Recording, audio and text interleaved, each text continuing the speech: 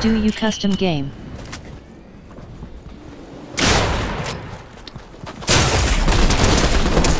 No, I missed my shot.